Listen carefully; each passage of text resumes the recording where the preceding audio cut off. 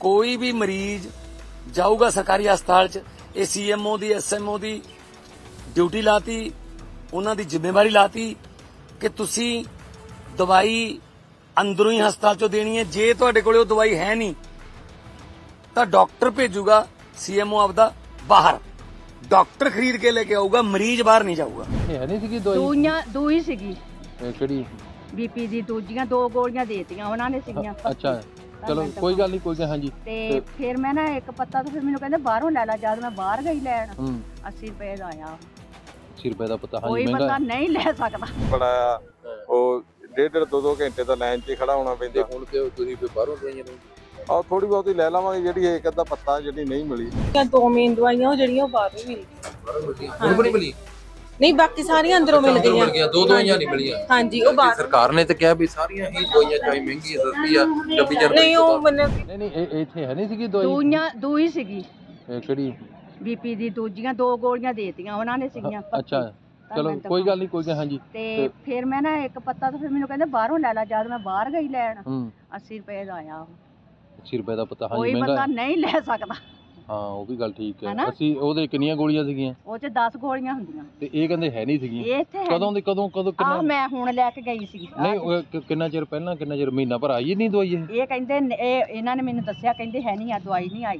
ਹੂੰ। ਉਦਣੇ ਮੈਂ ਲੈ ਕੇ ਗਈ ਆ ਤਾਂ ਪਰ ਹੁਣ ਹੁਣ ਮਿਲੀ ਆ? ਆ ਹੁਣ ਮੈਂ ਦੋ ਪੱਤੇ ਪਤਾ ਨਹੀਂ ਉਹ ਤਿੰਨ ਦਿੱਤੇ ਉਹਨਾਂ ਨੇ। ਹੂੰ ਹੂੰ ਮੈਂ ਕਿਹਾ ਤਿੰਨ ਪੱਤੇ ਦਿਓ ਦੋ ਦਿੰਦੀਆਂ ਸੀ ਮੈਂ ਕਿਹਾ ਤਿੰਨ ਹੁੰਦੇ ਆ ਮਹੀਨੇ ਦੀ ਦਵਾਈ ਤਾਂ ਪੂਰੀ ਕਰੋ ਫਿਰ। ਹੂੰ ਹੂੰ, ਹੂੰ। ਫੇਰ ਦਿੱਤੀ ਉਹਨਾਂ ਨੇ। ਅੱਛਾ ਹੁਣ ਜਾ ਕੇ ਕਿਤੇ ਮਹੀਨੇ ਹੁਣ ਬਾਅਦ। ਦਿੱਤੀ ਵੀ ਮਹੀਨੇ। ਮਿਲੂਗੀਆਂ ਬਾਅਦ 'ਚ ਆ ਅੱਛਾ ਬਾਕੀ ਉੱਥੇ ਲਾਈਨ ਬਹੁਤ ਲੰਬੀ ਹੈ। ਦਵਾਈਆਂ ਦੀ। ਹਾਂਜੀ। ਤੇ ਪਰ ਬਾ- ਸਰਕਾਰ ਨੇ 26 ਜਨਵਰੀ ਤੋਂ ਬਾਅਦ ਜਾਨੀ ਕਿ ਕਹਿ ਹੌਲੀ ਹੌਲੀ ਹੋਊਗਾ ਹਲੇ ਇੰਨੀ ਜਲਦੀ ਤਾਂ ਨਹੀਂ ਹੋਊਗਾ ਲੱਗਦਾ ਹੋ ਜਾਊਗਾ। ਹਾਂਜੀ। ਪਰ ਮੈਨੂੰ ਲੱਗਦਾ ਨਹੀਂ ਹੋਣ ਦੇ ਚਾਂਸ ਦੇ ਹਿਸਾਬ ਨਾਲ ਅੰਦਰ ਆਸ਼ਾ ਹੀ ਬੜਾ ਆ ਹਾਂ। ਉਹ ਡੇਢ ਡੇਢ ਦੋ ਦੋ ਘੰਟੇ ਤਾਂ ਲਾਈਨ 'ਚ ਹੀ ਖੜਾ ਹੋਣਾ ਤੇ ਪੈਂਦਾ ਹੁਣ ਤੇ ਤੁਸੀਂ ਫਿਰ ਬਾਹਰੋਂ ਦਵਾਈਆਂ ਲਓਗੇ ਆ ਥੋੜੀ ਬਹੁਤੀ ਲੈ ਲਵਾਂਗੇ ਜਿਹੜੀ ਇੱਕ ਅੱਧਾ ਪੱਤਾ ਜਿਹੜੀ ਨਹੀਂ ਮਿਲੀ। ਨਹੀਂ ਮਿਲੀ ਜੀ ਹਾਂਜੀ। ਇਹ ਲੇਡੀਜ਼ ਸਾਨੂੰ ਦਿਖਾਈ ਦੇ ਰਹੀਆਂ ਨੇ ਤੇ ਅਸੀਂ ਇਹ ਵੀ ਜੀ ਇੱਕ ਮਿੰਟ ਜਰਾ ਸੁਣੋ। ਹਾਂਜੀ ਪੰਜੀ ਇੱਕ ਮਿੰਟ ਜਰਾ। ਤੁਸੀਂ ਅੰਦਰੋਂ ਚੈੱਕਅਪ ਕਰਵਾ ਕੇ ਆਏ ਹੋ। ਹਾਂਜੀ। ਹਾਂਜੀ। ਤੇ ਦਵਾਈਆਂ ਵਗੈਰਾ ਮਿਲ ਗਈਆਂ ਅੰਦਰੋਂ ਜਾਂ ਬਾਹਰੋਂ ਤੁਸੀਂ ਲੈ ਰਹੇ ਹੋ? ਨਹੀਂ ਮਿਲ ਗਈਆਂ ਬਾ ਅੰਦਰੋਂ ਹੀ ਮਤਲਬ ਚਾਰ ਲਿਖੀਆਂ ਸੀ ਮੈਨੂੰ ਚਾਰੋਂ ਹੀ ਅੰਦਰੋਂ ਮਿਲ ਗਈਆਂ। ਅੰਦਰੋਂ ਮਿਲ ਗਈਆਂ? ਹਾਂਜੀ ਹਾਂਜੀ। ਇਹ ਇਹਨਾਂ ਵਿੱਚ ਕਈ ਇਹਨਾਂ ਨੂੰ ਨਹੀਂ ਮਿਲੀਆਂ ਇਹਨਾਂ ਨੂੰ ਗਠੀਏ ਦੀ ਪ੍ਰੋਬਲਮ ਆ ਇਹ ਹਮੇਸ਼ਾ ਲਈ ਦਵਾਈ ਖਾਂਦੇ ਆ। ਅੱਛਾ ਉਹ ਨਹੀਂ ਮਿਲੀ ਅੰਦਰੋਂ? ਹਾਂਜੀ ਉਹ ਅੰਦਰੋਂ ਨਹੀਂ ਮਿਲੀ। ਮਿਲਦੀਆਂ ਮੇਰੀਆਂ ਦੋ ਮੇਨ ਦਵਾਈਆਂ ਉਹ ਜਿਹੜੀਆਂ ਉਹ ਬਾਹਰੋਂ ਮਿਲ ਗਈਆਂ ਬਾਹਰੋਂ ਮਿਲ ਗਈਆਂ ਹੁਣ ਵੀ ਨਹੀਂ ਮਿਲੀ? ਨਹੀਂ ਬਾਕੀ ਸਾਰੀਆਂ ਅੰਦਰੋਂ ਮਿਲ ਅੰਦਰੋਂ ਗਈਆਂ ਮਿਲ ਗਈਆਂ ਦੋ ਦਵਾਈਆਂ ਨਹੀਂ ਮਿਲੀਆਂ। ਹਾਂਜੀ ਉਹ ਬਾਹਰ ਸਰਕਾਰ ਨੇ ਤਾਂ ਕਿਹਾ ਵੀ ਸਾਰੀਆਂ ਹੀ ਦਵਾਈਆਂ ਚਾਹੇ ਮਹਿੰਗੀ ਆ ਸਸਤੀ ਆ 24000 ਰੁਪਏ ਨਹੀਂ ਉਹ ਮੈਨੂੰ ਕਿ ਉਹ ਹਮੇਸ਼ਾ ਲਈ ਆ ਨਾ ਮੇਰੀ ਚੱਲਦੀ ਆ ਦਵਾਈ। ਜਲਦੀ ਤਾਂ ਹੈਗੀ ਆ ਤੁਸੀਂ ਅੰਦਰੋਂ ਜੇ ਦਵਾਈ ਤਾਂ ਅੰਦਰੋਂ ਚੈੱਕਅਪ ਤਾਂ ਅੰਦਰੋਂ ਹੀ ਕਰਾਉਂਦੇ ਹੋ। ਹਾਂਜੀ। ਤੇ ਫਿਰ ਤੁਹਾਨੂੰ ਹੁਣ ਕਿਉਂ ਨਹੀਂ ਮਿਲੀਆਂ? ਪਹਿਲਾਂ ਠੀਕ ਆ ਵੀ ਨਹੀਂ ਮਿਲਦੀਆਂ ਸੀਗੀਆਂ ਦਵਾਈਆਂ ਪਰ ਹੁਣ ਕਿਉਂ ਨਹੀਂ ਮਿਲੀਆਂ? ਕਿਹੜੀ ਜਗ੍ਹਾ ਤੋਂ ਆਏ ਹੋ? ਅਸੀਂ ਇਧਰ ਹੁਸ਼ਿਆਰਪੁਰ ਤੋਂ ਜੱਟਪੁਰ ਤੋਂ। ਜੱਟਪੁਰ ਤੋਂ ਕੀ ਹਾਂਜੀ ਹੈ ਸਿਮਰਨਜੀਤ ਕੌਰ। ਅੱਛਾ ਕਦੋਂ ਤੋਂ ਦਵਾਈ ਖਾ ਰਹੇ ਸੀ ਮੈਨੂੰ ਕਾਫੀ ਚਿਰ ਹੋ ਗਿਆ ਸਾਂ ਪਹਿਲਾਂ ਦਵਾਈ ਤੁਹਾਨੂੰ ਨਹੀਂ ਮਿਲਦੀ ਸੀ ਬਾਹਰੋਂ ਲੈਂਦੇ ਸੀਗੇ। ਤੇ ਹੁਣ ਵੀ ਤੁਹਾਨੂੰ ਬਾਹਰੋਂ ਹੀ ਕਿਹਾ ਉਹਨਾਂ ਨੇ ਵੀ ਬਾਹਰੋਂ ਹੀ ਨਹੀਂ ਮਤਲਬ ਕਿ ਇਹ ਮੇਨ ਦਵਾਈ ਆ ਜਿਹੜੀ ਬਾਹਰੋਂ ਹੀ ਮਿਲਦੀ ਆ ਬਾਕੀ ਸਾਰੀਆਂ ਅੰਦਰੋਂ ਅੰਦਰੋਂ ਨਹੀਂ ਮਿਲੀ ਉਹ ਦਵਾਈ। ਹਾਂਜੀ। ਤੋ ਤੁਸੀਂ ਦੇਖਿਆ ਵੀ ਕੁਝ ਦਵਾਈਆਂ ਜਿਹੜੀਆਂ ਹਜੇ ਤੱਕ ਵੀ ਹੈਗੀ ਹੈ ਵੀ ਹਜੇ ਬਾਹਰੋਂ ਮਿਲਦੀਆਂ ਪਈਆਂ ਕਿ ਜਦ ਕਿ ਮੈਡਮ ਸਵਾਤੀ ਦਾ ਕਹਿਣਾ ਹੈ ਕਿ ਇਹ ਦਵਾਈਆਂ ਜਿਹੜੀਆਂ ਆ ਇਹ ਸਾਰੀਆਂ ਹੀ ਅੰਦਰੋਂ ਮਿਲਦੀਆਂ ਕੋਈ ਵੀ ਦਵਾਈ ਬਾਹਰੋਂ ਨਹੀਂ ਮਿਲਦੀ। ਮਰੀਜ਼ਾਂ ਨਾਲ ਗੱਲਬਾਤ ਕੀਤੀ ਹੈ ਜਿਹੜੇ ਚੈੱਕ ਕਰ ਰਹੇ ਨੇ ਉਹਨਾਂ ਨਾਲ ਗੱਲਬਾਤ ਕੀਤੀ ਹੈ ਤਾਂ ਜੋ ਵੀ ਤੱਥ ਸਾਹਮਣੇ ਆਏ ਆ, ਤੁਹਾਡੇ ਸਾਹਮਣੇ ਮੈਂ ਪੇਸ਼ ਕੀਤੇ ਆ। ਅਸੀਂ ਗੱਲ ਕਰਦੇ ਹਾਂ ਵੀ ਮੈਡੀਕਲ ਦਵਾਈ ਦਵਾਈ ਮਿਲ ਰਹੀ ਹੈ, ਲੇਕਿਨ ਲੋਕਾਂ ਨੂੰ ਕੁਝ ਪਰੇਸ਼ਾਨੀ ਸਾਹਮਣਾ ਕਰਨਾ ਪੈ ਰਿਹਾ। ਕਾਫੀ ਲੰਬੀਆਂ ਲਾਈਨਾਂ ਆ। ਉੱਥੇ ਦਵਾਈ ਲੈਣ ਜਾਂਦੇ ਤਾਂ ਕ- ਕਹਦੇ ਵੀ ਜਿੱਦਾਂ 9 ਵਜੇ ਦੇ ਖੜੇ ਆ, ਕਈ ਨੂੰ 12 ਵੱਜ ਗਏ, ਅਜੇ ਤੱਕ ਲਾਈਨ ਨਹੀਂ ਆ, ਜਾਂ ਕੁਝ ਬਜ਼ੁਰਗ ਆ ਕੁਝ ਸਟਾਫ ਦੀ ਜਾਂ ਵਿੰਡੋ ਵਗੈਰਾ ਵਧਾਉਣੀਆਂ ਚਾਹੀਦੀਆਂ ਇਹਦੇ ਤੇ ਹਾਂਜੀ ਬਿਲਕੁਲ ਬਿਲਕੁਲ। 9 ਤੋਂ 12 ਤੇ ਨਹੀਂ ਬਜਦੇ ਬਿਲਕੁਲ।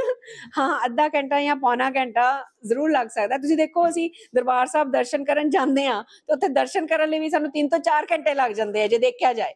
ਇੱਕੋ ਦਿਉੜੀ ਦਰਸ਼ਨੀ ਦਿਉੜੀ ਤੇ ਜਿੱਥੇ ਕਿ ਅਸੀਂ ਸਿਰਫ ਪ੍ਰਸ਼ਾਦ ਅੱਗੇ ਲੈਣ ਜਾਣਾ ਹੈ। ਇਹ ਤੇ ਫਿਰ ਦਵਾਈਆਂ ਔਰ ਇੱਕ ਮਰੀਜ਼ ਨੂੰ ਕਿੰਨੀਆਂ ਦਵਾਈਆਂ ਲਿਖਦੇ ਆ ਘੱਟੋ ਘੱਟ 5 ਤੋਂ 6 ਦਵਾਈਆਂ ਹੁੰਦੀਆਂ ਹੈਗੀਆਂ। ਹੈਨਾ? ਤੇ ਥੋੜਾ ਟਾਈਮ ਲੱਗੇਗਾ, ਅਸੀਂ ਸਟੂਡੈਂਟਸ ਵੀ ਨਾਲ ਲਗਾਏ ਹੋਏ ਆ। ਕਈ ਵਾਰੀ ਸਟੂਡੈਂਟਸ ਨੂੰ ਜਿਹੜਾ ਸਾਡਾ ਸਟਾਫ ਹੈ, ਉਹ ਮੈਨੇਜ ਕਰ ਰਿਹਾ, ਕਿਤੇ ਕੋਈ ਦਵਾਈ ਗਲਤ ਨਾ ਹੋ ਜਾਏ ਜਾਂ ਉਹ ਦੇਖ ਰਹੇ ਅੰਡਰ ਟ੍ਰੇਨੀ ਹੈਗੇ ਆ, ਉਸ ਕਾਰਨ ਥੋੜਾ ਹੈਗਾ। ਅਦਰਵਾਈਜ਼ ਜਲਦੀ ਇਹ ਸਾਰਾ ਹੋ ਜਾਏਗਾ ਸਟ੍ਰੀਮਲਾਈਨ ਇਹ ਜਿਹੜੇ ਸਕੈਨ ਵਗੈਰਾ ਹੋ ਰਹੇ ਆ, ਉਹ ਵੀ ਕਈ ਕਹਿੰਦੇ ਵੀ ਬਾਹਰੋਂ ਲਿਖ ਦਿੰਦੇ ਆ ਜਾਂ ਕਿਸੇ ਤਰ੍ਹਾਂ ਹਸਪੀਟਲ ਦੇ ਵਿੱਚ ਬਹੁਤ ਘੱਟ ਹੁੰਦੇ ਕੀ ਕੋਈ ਕਮੀ ਪਾਈ ਜਾ ਰਹੀ ਹੈ ਜਾਂ ਕਿਸ ਤਰ੍ਹਾਂ ਦਾ ਹੈ? ਨਹੀਂ, ਇਸ ਤਰ੍ਹਾਂ ਦੀ ਤੇ ਮੇਰੇ ਕੋਲ ਹਜੇ ਤੱਕ ਤਾਂ ਕੋਈ ਰਿਪੋਰਟ ਨਹੀਂ ਆਈ ਹੈ, ਕਿਉਂਕਿ ਜਿਹੜੇ ਅਲਟਰਾਸਾਊਂਡ ਹੈਗੇ ਆ, ਸਾਡੇ ਮੈਡਮ ਜਿਹੜੇ ਆ, ਗਾਇਨੀ ਦੇ ਵੀ ਅਲਟਰਾਸਾਊਂਡ ਇੱਥੇ ਹੀ ਹੁੰਦੇ ਹੈਗੇ ਆ ਤੇ ਨਾਰਮਲ ਸਕੈਨਸ ਵੀ ਇੱਥੇ ਹੁੰਦੇ ਹਾਂ, ਕੋਈ ਪਾਰਟਿਕੂਲਰ ਜਿਸ ਤਰ੍ਹਾਂ ਲੈਵਲ 2 ਸਕੈਨ ਹੈ ਗਾਇਨੀ ਦੇ ਵਿੱਚ, ਜਿਹੜਾ ਕਿ ਅਨੈਮਲੀਜ਼ ਦੇਖਦਾ, ਬੱਚੇ ਦੇ ਵਿੱਚ ਕੋਈ ਅੰਗ ਤੇ ਨਹੀਂ ਖਰਾਬ ਜਾਂ ਕੁਝ ਇਸ ਤਰ੍ਹਾਂ ਦੀ ਪਰੇਸ਼ਾਨੀਆਂ ਜਾਂ ਕ੍ਰੋਮੋਸੋਮਲ ਡਿਸਆਰਡਰਸ ਦੇ ਕਰਕੇ ਕੋਈ ਪ੍ਰੋਬਲਮਸ ਆ ਰਹੀਆਂ ਉਹ ਨਹੀਂ ਹੁੰਦਾ ਇੱਥੇ। ਪਰ ਉਹਦਾ ਜਿਹੜਾ ਹੈਗਾ, ਉਹ ਵੀ ਸਰਕਾਰ ਦੇ ਵੱਲੋਂ ਕਵਰਡ ਹੈਗਾ ਔਰ ਕਾਫੀ ਘੱਟ ਪੈਸਿਆਂ 'ਚ ਹੁੰਦਾ ਹੈਗਾ। ਪਰ ਸਰਕਾਰ ਹੁਣ ਇਹ ਕਹਿ ਰਹੀ ਹੈ ਕਿ ਜਿਹੜੇ ਸਕੈਨ, ਜਿਸ ਤਰ੍ਹਾਂ ਦਾ ਵੀ ਸਕੈਨ ਹੋਏਗਾ ਉਹ ਜੇ ਪੇਸ਼ੈਂਟ ਬਾਹਰ ਜਾਂਦਾ ਹੈ, ਉਹ ਉਹਨੂੰ ਫ੍ਰੀ ਅਵੇਲੇਬਲ ਹੋਏਗਾ। ਇੱਕ ਚੀਜ਼ ਹੋਰ ਸਾਹਮਣੇ ਆਈ ਹੈ ਵੀ ਕੁਝ ਲੋਕਾਂ ਨੇ ਆਪਰੇਸ਼ਨ ਕਰਾਇਆ ਕੋਈ ਐਕਸੀਡੈਂਟ ਜਾਂ ਕਿਸੇ ਤਰ੍ਹਾਂ ਦਾ ਫ੍ਰੈਕਚਰ ਹੋ ਜਾਂਦਾ, ਲੱਤ ਦਾ ਬਾਂਹ ਜਾਂ ਜਾਂ ਸਰੀਆ ਜਾਂ ਪੱਤੀ ਕੁਝ ਵੀ ਬੰਦੀ ਆ, ਉਹਦੇ ਜਿਹੜੇ ਉਹ ਚਾਰਜ ਲੈ ਜਾਂਦੇ ਆ, ਕੀ ਸਰਕਾਰ ਵੱਲੋਂ ਜਾਂ ਹਸਪਤਾਲ ਦੇ ਵਿੱਚ ਫ੍ਰੀ ਨਹੀਂ ਹੈ ਸਰ ਕੁਝ ਆਪਰੇਸ਼ਨ ਵੀ ਤਾਂ ਉਹ ਰੋਡ ਵਗੈਰਾ ਜੋ ਪੈਂਦੇ, ਉਹ ਬਿਲਕੁਲ ਆਯੁਸ਼ਮਾਨ ਦੇ ਅੰਡਰ ਤੇ ਟੋਟਲੀ ਫ੍ਰੀ ਹੈਗਾ। ਬਾਕੀ ਇੰਪਲਾਂਟਸ ਦਾ ਉਹਨਾਂ ਨੇ ਸਾਨੂੰ ਦੁਬਾਰਾ ਤੋਂ ਇਹ ਆਰਡਰ ਦਿੱਤੇ ਹੈਗੇ ਕਿ ਉਹਦਾ ਚੈੱਕ ਕੀਤਾ ਜਾਏ ਕਿ ਕੀ ਜਿਹੜੇ ਉਹਦੇ ਰੇਟਸ ਹੈਗੇ ਹੈਗੇ ਉਹ ਸਹੀ ਢੰਗ ਨਾਲ ਲਿੱਤੇ ਜਾ ਰਹੇ ਆ। ਉਹਨਾਂ ਦੀਆਂ ਕੋਟੇਸ਼ਨਸ ਜਾਂ ਉਹਨਾਂ ਦੇ ਜਿਹੜੇ ਟੈਂਡਰ ਹੈਗੇ ਉਹ ਲੱਗੇ ਹੋਏ ਆ। ਉਹ ਅਸੀਂ ਉੱਤੇ ਕੰਮ ਕਰ ਰਹੇ ਹੈਗੇ ਕਿਉਂਕਿ ਕਾਫੀ ਮਰੀਜ਼ਾਂ ਨੇ ਬਾਹਰ ਦੱਸਿਆ ਵੀ 18 ਤੋਂ 20000 ਰੁਪਇਆ ਵੀ ਖਰਚਾ ਇੱਥੇ ਹੁੰਦਾ ਪਿਆ ਆ।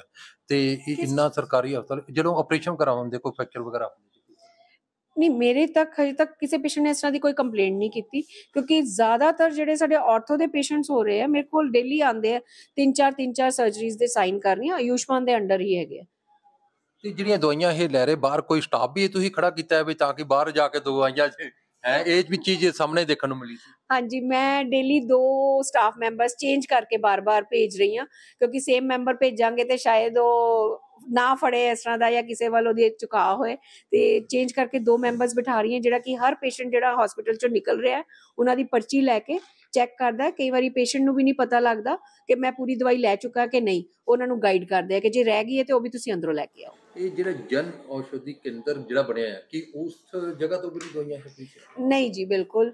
ਸਰਕਾਰ ਨੇ ਜਦੋਂ ਫ੍ਰੀ ਕਿਹਾ ਹੈ ਤੇ ਫ੍ਰੀ ਹੈ। ਜਨ ਔਸ਼ਧੀ ਤੋਂ ਵੀ ਪੇਸ਼ੈਂਟ ਖਰੀਦ ਨਹੀਂ ਸਕਦਾ।